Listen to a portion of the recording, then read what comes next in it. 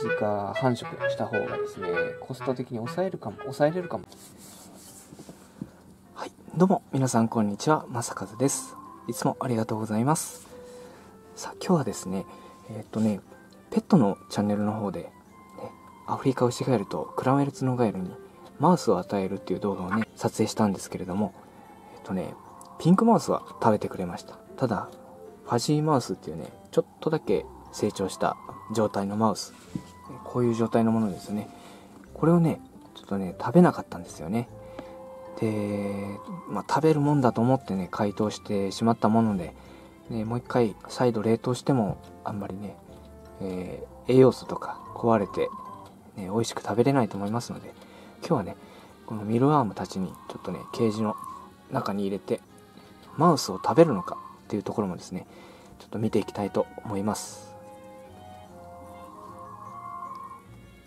真ん中あたりに置きました。さあもう早速集まっていってますね。